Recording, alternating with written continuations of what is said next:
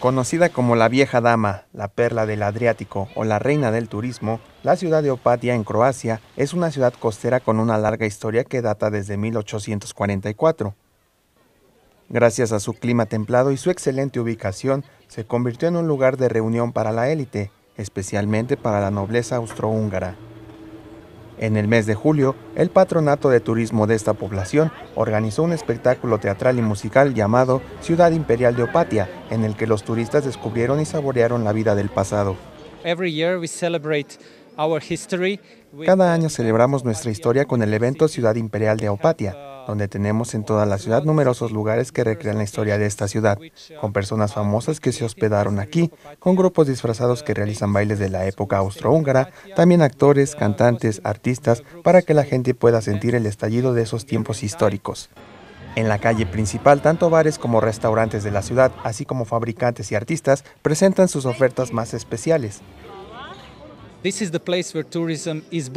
Este es el lugar donde nació el turismo en Croacia. A mediados del siglo XIX, la construcción de Villa Angiolina supuso el comienzo del turismo organizado en Croacia. Esta es una cuna del turismo del país y hoy en día sigue siendo muy popular como un lugar para venir y conocer. Muchos grandes artistas, celebridades, la nobleza y la realeza pasaron sus vacaciones descansando y buscando inspiración en Opatia. En el Parque Central hay retratos de algunos de ellos como Gustav Mahler, quien compuso su famosa Sinfonía número 6, o como los hermanos Lumière, quienes filmaron una de las primeras películas en este lugar. I'm uh, Auguste Lumière. Soy Auguste Lumière, mi hermano y yo estamos aquí y estamos filmando una película en Opatia.